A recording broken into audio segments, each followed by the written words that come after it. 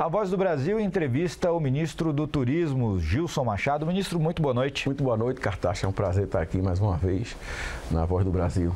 Prazer é todo nosso. Ministro, vamos relembrar as, as principais medidas adotadas pelo Ministério do Turismo para combater a pandemia de Covid-19 aqui no nosso foram, país? Foram várias medidas, né? Uma das mais importantes foi a que salvou os empregos né, que a gente, através de, do MP, que a gente conseguiu que se mantivesse o maior patrimônio que a empresa tem, que é o seu capital humano. Nós, através da, da flexibilização das relações de trabalho no setor, muitos muitos cases turísticos, muitas operadoras turísticos, hotéis, restaurantes, enfim, puderam fazer um acordo com seus funcionários para diminuição da carga de trabalho, enfim, de várias maneiras. A gente teve também a MP do Fungetur, que liberou 5 bilhões de reais para atender o trade. É, isso daí foi capilarizado em quase mais de 20 instituições bancárias no Brasil todo, diga-se de passagem, e que ajudou muito também a manter o fluxo de caixa das empresas. Outra medida muito, muito importante foi a Lei Aldir Blanc, que contemplou toda a cultura do Brasil, todo o setor cultural através dos estados e municípios. E pela primeira vez na história do Brasil, o presidente Bolsonaro conseguiu manter 4 mil secretarias de cultura com verbas públicas, que você viu a proliferação de lives de pequenos artistas, você viu a proliferação de prêmios indutores da, do artesanato, enfim. A gente conseguiu, através dessa medida, colocar 3 bilhões de reais à disposição do setor cultural do Brasil no período de pandemia. E outra medida importantíssima que nós fizemos né, em, em parceria foi o, o, Pronamp, que contemplou 20% dele no setor de eventos, também mantendo o fluxo de caixa das empresas, o dinheiro ao, ao custo mais barato. E outra medida importantíssima na pandemia foi a, o selo turismo responsável. Né? Os protocolos de segurança que foram estipulados pelo Ministério do Turismo né? mudou a história do, do turismo no Brasil, dos restaurantes, por exemplo. Se hoje você entra no restaurante, você só entra se você tiver sua temperatura ferida, no hotel do mesmo jeito. Você, para se servir, você tem que estar com a luva. Enfim, no, no avião, antes de você sentar naquela cadeira, a, os ductos de ar-condicionado foram esterilizados, foram limpos, o, aquela cadeira também também foi esterilizada a mesinha na frente, no, no transporte coletivo interestadual, feito ônibus, vans, etc teve protocolo de segurança também, de esterilização do ambiente, enfim. A gente viu que o Brasil saiu na frente desde 2019, de junho, no começo da pandemia, nós lançamos isso. Inclusive recebemos moção de aplauso da Organização Mundial do Turismo por isso daí. E, e você sabe, o Brasil agora ele entrou no, na Organização Mundial do Turismo, no Conselho Executivo. E também acabamos de ganhar um escritório regional né, para as Américas aqui no Brasil, com concorrência com outros países, inclusive a Argentina. E se nós não tivéssemos feito o dever de casa, de combate à pandemia, número de vacinados do Brasil que já ultrapassou os Estados Unidos, número de Covid no Brasil, praticamente, graças a Deus, a gente já pode dizer hoje que o Brasil é uma página virada na Covid. Né? Os exemplos estão aí, os números diminuíram bastante. A gente tem um, um ministro da, da, Saúde, o Marcelo Queiroga, que realmente foi um campeão nisso aí, um técnico, diga-se de passagem, eu fui testemunha do trabalho dele, viajei com ele vários fins de semana, quer dizer, Cartaxa, aliás, faz oito, faz oito meses que eu não tenho um fim de semana com a minha família, bicho, é só trabalhando, só com as entregas. Porque durante a semana a gente fica aqui no Ministério e durante o fim de semana a gente entrega mais de 3.200 obras que o Ministério do Turismo tem. E fiz várias ações em conjuntas com o ministro Queiroga. E a gente viu o empenho dele e o sucesso dele no combate à pandemia. Mas, ministro, é, mais um exemplo desse trabalho que não para aqui no Ministério do Turismo foi a retomada dos cruzeiros. É né? verdade. Foi agora, anunciado agora em só, novembro. Só para finalizar meu, meu, meu raciocínio. Então, nós conseguimos entrar no Conselho Executivo. Se a gente não tivesse feito um trabalho exemplar durante a pandemia, apesar dos, do, dos empregos que nós perdemos, em torno de 400 mil empregos, nós, temos, nós estamos tendo uma recuperação astronômica, superlativa. E o Brasil hoje, ele eleva eleva os números da América Latina como um todo no, no, emprego do turismo, quando bota junto com outros países. Então, isso daí fez com que o Brasil entrasse no Conselho Executivo da Organização Mundial do Turismo e trouxesse o escritório da Organização Mundial do Turismo para o Brasil. Se a gente não tivesse feito dever de casa, a gente não teria passado nem na porta do Conselho, quanto mais sentar numa cadeira, com direito a voto. Então isso é muito, muito interessante. Você agora está falando do setor dos cruzeiros. É uma maior vocação que o Brasil tem para turismo náutico. E disso daí se inclui os cruzeiros marítimos. Né? A gente, eu lancei até um desafio no lançamento dos cruzeiros agora. É, que acabar esse negócio de temporada. Temporada é para país como na Europa, como no Caribe, que tem furacão, que tem inverno na Europa rigoroso. O Brasil ele pode ter cruzeiro marítimo perenemente. 365 dias por ano. Por que não? Você ter o navio que sai de Fortaleza, vai até Natal, depois vai para Noronha, Salva, é, João Pessoa, Recife, Salvador, é, para Maragogi, entre um e outro, Maceió, enfim, muito atrativo, Porto Galinha. Então a gente vê as praias do Nordeste, aqui também em, em Ilha Bela, Angra, Santos, Guarujá, o Brasil é, Camboriú, Balneário Camboriú, o que você quiser, nós temos aqui no Brasil. É lindo de ponta a ponta. É, de, de ponta a ponta, e tem um detalhe, nós somos muito competitivos pelo que nós não temos. O que é que nós não temos? Desastres naturais. Furacão, maremoto, terremoto, guerras. O Brasil tem uma sustentabilidade incrível. O Brasil é um país hoje que tem o maior percentual de áreas ainda virgens preservadas dos 20 países do G20. 66% do nosso território, eu volto a dizer, aqui na, na EBC de novo, está igual a quando Jesus Cristo veio à Terra. E eu disse da outra vez, numa entrevista que viralizou, inclusive na internet, aqui na Hora do Brasil, Brasil e que, se eu tivesse falado alguma besteira, tinha dado capa dos, dos maiores jornais da grande mídia. Né? Ah, o ministro do Turismo falou um agafe. Não, o Brasil é sim o mais preservado do mundo e nós temos o dever patriótico de defender o nosso país lá fora. Porque não adianta a Embratur ter um recurso, o Ministério ter um recurso para defender o país do que falam lá fora e, e o próprio brasileiro fala mal do Brasil, mas isso está mudando. O presidente Bolsonaro está conseguindo reconquistar a autoestima do brasileiro, o patriotismo do brasileiro e orgulho do brasileiro de um país que não tem corrupção há três anos. Fizemos agora o, o Dia Internacional de Combate à Corrupção e um americano que é o, o presidente da organização, da, da ONU, diga-se de passagem, no tocante a isso, o, ele se referia ao Brasil como um exemplo hoje no mundo de diminuição dos índices de, de combate a, de de corrupção. Então, a gente está vendo que o, o, nosso dever de casa está sendo feito e está gerando bons frutos. Ministro, o, a pandemia, a questão da, do fechamento das fronteiras, ela serviu principalmente para o brasileiro é, reconhecer, redescobrir ou descobrir o nosso país. Um dos, dos programas que estimula é o Viagem pelo Brasil. Qual a importância do programa nesse momento? Olha, veja bem, eu tenho 53 anos de idade. Eu não me perdoo não me perdoo de ter deixado para conhecer o Amazonas depois dos 50 anos de idade. E eu garanto que muita gente que está me assistindo agora nunca pensou em ir em Manaus, em São Gabriel da Cachoeira, e lá na Navilhanas, em Alta do Chão, em ver o encontro do rio Tapajós com o rio Amazonas. Nunca pensou em ir no rio, no rio Sucuri, em Nova, no Rio da Prata, no Mato Grosso do Sul. Porque sempre foram para Disney, para Paris, para Las Vegas, para Singapura, para o Japão, né? E não, não viajavam no Brasil. E o nosso país é lindo, é maravilhoso. E eu digo mais ainda, Cartacho, o turismo no Brasil de 10 anos para cá evoluiu muito. Nós, nós hoje temos o melhor na, é, hotel do mundo hoje pela TripAdvisor, é aqui no Brasil. A gente tem também o melhor resort de praia do mundo, é aqui no Brasil. Né? Eu fui agora no Colino de France, um hotel lá em, em Gramado, Canela, aquela região. É o melhor hotel do mundo, bicho.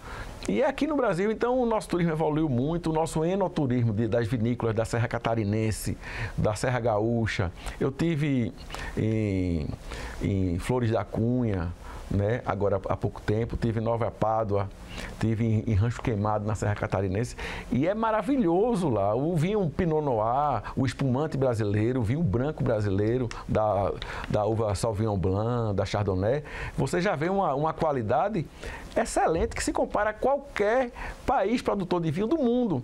Entendeu? Não é porque o nosso terroir, a nossa terra é diferente, né, que o vinho da gente seja pior. Não, a gente não tem a obrigação de ter o mesmo sabor, porque o nosso solo é diferente do solo da Borgonha. Mas o nosso vinho é feito com a mesma tecnicidade, com o mesmo esmero, com o mesmo empenho. E outra coisa, com os mesmos descendentes de europeus que são os brasileiros, que são da, da Serra Gaúcha e da Serra Catarinense.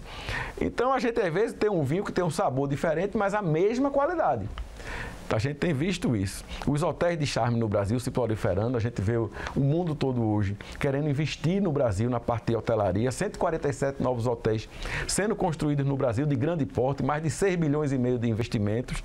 Você vê também mais de 8 mil pequenos hotéis, é, hotéis pousadas, albergues, sendo construídos hoje no Brasil. E, e, você vê a geração de emprego a pleno. Para você ter uma ideia, em agosto desse ano, eu falei com o ministro Onix, do Ministério do Trabalho, né, ele me deu um dado muito interessante. Nós formamos no Brasil, só em agosto, 372 mil empregos de carteira assinada. Desses 372 mil, 180 mil empregos foram oriundos diretamente do turismo do setor de serviços ligados ao turismo. E eu digo mais, até o final de fevereiro nós vamos criar mais 500 mil novos empregos no turismo nessa alta temporada. Ministro, o senhor falou dessa atração que o Brasil tem hoje, principalmente para países que veem o nosso país como destino turístico mundial. O senhor esteve agora em novembro na Expo Dubai. É, eu acompanhei as postagens do Ministério, vi a movimentação uh, no nosso estande. O mundo descobriu o turismo brasileiro? O presidente Bolsonaro foi na ONU deu um discurso exemplar, mostrou, ninguém contestou. Então, isso hoje, graças à conectividade, à internet, às redes sociais, a gente está conseguindo capilarizar isso através das nossas participações em feiras, em eventos internacionais, com nossa equipe técnica. E a gente está, sim, gerando uma, uma, uma, curiosidade do mundo. Tanto é que o nosso pavilhão na Expo Dubai está entre os quatro pavilhões mais visitados da Expo Mundo. É? São 190 países que estão lá concorrendo para mostrar, né, na realidade, cada um a sua, o, o, que o país tem de melhor oferecer. Nós estamos entre os quatro né, mais visitados, já recebemos, eu acho que mais de 500 mil pessoas visitando. Então você vê, e o tema principal do, do nosso pavilhão é a sustentabilidade. Nós estamos no pavilhão da sustentabilidade da feira. Então você tem experiência sensorial da Amazônia, das praias do Nordeste, enfim, tem imagens, você tem fotos, enfim, tem sons, você transita dentro do Brasil ali dentro. Tem rede. Rede, vídeo, tem tudo. Então, isso gera uma curiosidade no mundo. E dia após dia, o mundo está vendo o Brasil como uma grande oportunidade. Como nós fomos agora por Emirados Árabes com o presidente Bolsonaro, tivemos em torno de 700 e, e, empresários nos encontros lá. Inclusive, o presidente fez parte, eu fiz parte, eu falei também, mostrei as oportunidades que o Brasil tem, o nosso portal de atração de investimentos, enfim. E a gente está, sim, conseguindo mostrar para o mundo a oportunidade que o Brasil é. Eu digo de passagem, capaz. O, o, o Brasil hoje é a maior oportunidade do mundo para turismo de natureza no período pós-pandemia. Porque o mundo hoje vai querer turismo de natureza. Isso não sei o que estou dizendo, não. Isso quem está dizendo é o Google. Em 2019, antes da pandemia, de cada 100 buscas do Google, apenas 10 buscas, ou 10%, quando se botava trip, vacation, é, férias em português, cada 100 buscas, apenas 10 eram por turismo de natureza o resto era Paris, Nova York, Singapura, enfim. Hoje, de cada 100 buscas que se coloca no Google, 54 são para o turismo de natureza. É impressionante, bicho. Então, por isso que o Brasil hoje gera tanta. Está gerando um despertar e está no escopo do, das atrações de investimento. Agora, ministro, o verão chegando, dia 21 agora, graças a Deus, e vem junto, infelizmente, com a danada da Omicron. Né? Isso preocupa o Ministério? Não deixa de preocupar, né? claro que preocupa todos nós, né? Mas a gente, o que a gente tem ouvido, eu tive agora em Madrid, na Organização Mundial do Turismo, inclusive no, na Assembleia Geral, do qual apresentei um, uma palestra, um vídeo sobre como o Brasil é sustentável e ninguém contestou, ninguém falou, ninguém saiu nada, não falei nenhum agafe, que se eu tivesse falado, tinha saído em rede nacional. Né? E a gente sentiu que os países lá estão preocupados, né? todo mundo preocupado, fazendo teste de PCR, enfim. Mas, ao que tudo indica, essa ômicron, ela não é tão letal como a, a, as outras variantes da Covid. Agora, deixa eu lhe dizer uma coisa. A gente vai deixar de viver por causa dessa doença? Daqui a 50 anos, nós vamos estar na 78ª cepa da Covid e ninguém vai viver mais, bicho. Né? Então, a gente tem realmente que rever as nossas posições. Por exemplo, teste de PCR no nariz. Né? Você, para ir para um país estrangeiro hoje, os Estados Unidos, por exemplo, vamos dizer, Cartacho é, viaja com a esposa, os filhos e a sogra exterior. Uma família normal. Um esposo, um marido, três filhos e uma sogra. Seis pessoas. Aí o cara vai lá e velho. Chega aqui, tem que fazer um exame PCR aqui em seis pessoas. Né? 450 conto cada exame. Quando chega lá, quando para no aeroporto, fazer outro. Porque o cara não confia no, no brasileiro. Faz outro. Né? Já são mais dois exames, vezes já vão 12 exames, é 450 conto. Na volta, aí é que é o pior. Tem que fazer outro. Vamos supor que o cara seja um cara muito rico, não faz questão desse dinheiro, que eu acho um absurdo o valor. O cara gasta quase o preço de uma passagem de exame de PCR, que virou uma indústria, né? Tem muita gente ganhando dinheiro com isso. Virou uma indústria. Né? Diz de passagem, os caras estão ganhando mais dinheiro do que as companhias aéreas, porque tem muito mais custo do que o cara que fabrica um negócio de PC, um, um, exame de PCR. Né? Mas no último dia, você foi maravilhosa, você está assintomático, você está vacinado e você fez o exame na hora de voltar para o Brasil, deu positivo, bicho. E aí? O que é que vai acontecer? tu vai ter que passar mais 15 dias gastando em dólar, em euro, numa quarentena num país estranho, tu e tua família. Ninguém viaja para o exterior assim, com esse risco. Como aconteceu com o nosso ministro Marcelo. Marcelo, no último dia, assintomático, vacinado, fez o exame, deu positivo e ficou lá.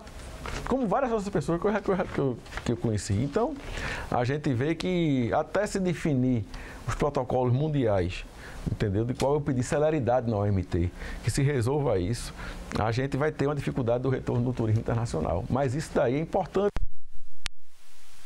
é que o Brasil é um país que emite turistas para o exterior. Nós mandamos 11 milhões de turistas para fora, que deixam 19 bilhões de dólares lá fora. E esse, e esse turista internacional, ele hoje, que é mais do que um país como Portugal, mais do que uma Suíça, por exemplo. Portugal, 10 milhões de habitantes, Suíça, 9 milhões, 9 milhões e meio. Então nós mandamos mais gente brasileiro para fora de alto poder aquisitivo, né, 19 bilhões de dólares, e agora estamos com esse pessoal aqui dentro viajando. Então, por isso que o turismo do Brasil também está tão aquecido. Né? Você vê as companhias aéreas já voltaram mais de 80%, 85%, quase 90% da sua malha aérea. Os hotéis de final de ano, praticamente é muito difícil, quase 95% de ocupação já. É, a alta estação agora, o de janeiro e fevereiro, os hotéis de praia, principalmente no Nordeste do Brasil, lotados. O endereço de ecoturismo também. Então é isso, o Brasil está se recuperando, está fazendo o dever de casa, é um exemplo. E nós queríamos ter 48 horas por dia para trabalhar e não apenas 24. Agora, ministro, não tinha como perguntar. Um paraibano do lado de um pernambucano pernambucano. Essa semana nós tivemos a, o, o nosso forró é reconhecido como patrimônio cultural brasileiro. Inclusive, estou sentindo falta uh, do fole da sanfona aqui na entrevista. É, o que isso representa para o turismo nacional? Veja bem, veja bem. O forró faz mais de 30 anos que já merecia ter se tornado patrimônio cultural e natural do Brasil de, de direito. Porque, de fato, o forró já era patrimônio cultural do Brasil, bicho. Não tem como não ser, cara. Né? É um dos ritmos que mais contamina, é um ritmo que influenciou o sertanejo. Porque o sertanejo começou a se chamar sertanejo universitário, botar públicos é, babilônicos, depois que inseriu o ritmo do forró. E a sanfona na cara, porque antes era tan, tan, tan, metais. De que me adianta viver na cidade? Agora não, é. Chora, me liga, me tem, Você vê com o ritmo do forró e a sanfona na cara, bicho. Você vê as bandas de sertanejo hoje, toda ela tem um sanfoneiro. Tudo. Né? Então você vê cantores de forró, como o Mano Walter, que estava aqui no evento, como o Erle Safadão, Amazã. Amazã. E, e, você vê cantores de forró que fazem sucesso no sertanejo, como o Mano Walter, como o Erle Safadão. Então a gente vê que o forró realmente é um ritmo maravilhoso, um ritmo que você conseguiu fazer com que ele transcendesse apenas o Nordeste. Né? E a gente conseguiu, através do IFAM, diga-se de passagem, por unanimidade, o empenho pessoal do presidente Bolsonaro. O forró é agora, de fato e de direito, patrimônio cultural do Brasil. Você pode perguntar, isso daí vai beneficiar o quê para o cantor do forró? Eu digo, bicho, para quem está me ouvindo agora, chega mais perto do rádio. Antigamente, um artista do forró, ele tinha muito pouco acesso a políticas públicas, pelo fato do forró não ser patrimônio cultural e material. Mas hoje, através disso, o forró tem sim acesso a políticas públicas. Você vê que o forró, o que é acesso? Você tem acesso a dinheiro, recurso federal, né, para projetos, para capacitação de jovens, para formação de orquestra de sanfona, de ritmos, para divulgar o forró lá fora no exterior, fazer turnês lá fora de artistas de forró, mostrar o nosso ritmo. Ficou mais fácil agora. Ficou com a base legal. Entendeu? E o forró é maravilhoso. O Luiz Gonzaga, é, para mim, foi um dos maiores empreendedores que existiram. Porque, veja bem, o Brasil tem mais de 6 mil 6 mil, fora as bandas, né? Fora 6 mil trios de forró no Brasil. E no exterior, em todo lugar do mundo que eu vou, eu arrumo um trio de forró. Se eu estou no Japão, na China, na Suécia, onde tem uma feira da Embratur, a gente já contrata lá porque sabe que tem. Já ligo para a embaixada, arruma um trio de forró aí. Tem. Por quê? Porque o trio de forró foi a maior sacada que Luiz Gonzaga deu. Ele pegou a zabumba, né? Que é um instrumento grave, né? E ele ficou matutando o que é que eu vou botar para me acompanhar em cima dos caminhões quando eu vou tocar com a sanfona e com a zabumba. Aí um dia ele estava em Recife, no hotel, e passou um moleque, um menino, tocando o Lego Tengo, o triângulo. Ele disse, opa, achei. Aí botou a zabumba de um lado, o triângulo do outro e a sanfona e a voz no meio. O grave o agudo e o médio, quer dizer, equilibrou para o ouvido humano o som do trio de forró não, não agride a audição humana. Aí foi uma sacada que o resto todo mundo já sabe falar sobre isso, é chover molhado. Foi o maior pipoco, o maior sucesso do mundo. Aí depois vieram, vieram as bandas de forró, os cantores de forró, feito Jorge de Altinho, Novinho da Paraíba, Osmar Monteiro e Ademário Coelho, que começaram a colocar os metais no forró. Aí vieram várias bandas, a Mastros com Leite, Magnífico, Brucelose, Limão com Mel, Baby Som. E depois veio o sertanejo universitário, com aviões, é, com, com Wesley Safadão, com os artistas feitos Gustavo Lima, enfim, que, que colocaram. E as, bandas, e, outra, e as bandas de forró se proliferaram, como aviões do forró, Mano Walter, enfim. E se tornou no que o forró é hoje, na importância que é. E você vê artistas nacionais como Elba, como Zé Ramalho, como Fagner, que sempre cantaram forró. Apesar de, de, de fazerem discos, é, é, trabalhos de MPB, como chamam, né? Mas sempre tiveram a sua linha de forró. E muitos deles já lançaram vários discos exclusivos de forró. Então você vê como o forró agrega e como o forró transcende qualquer ideologia.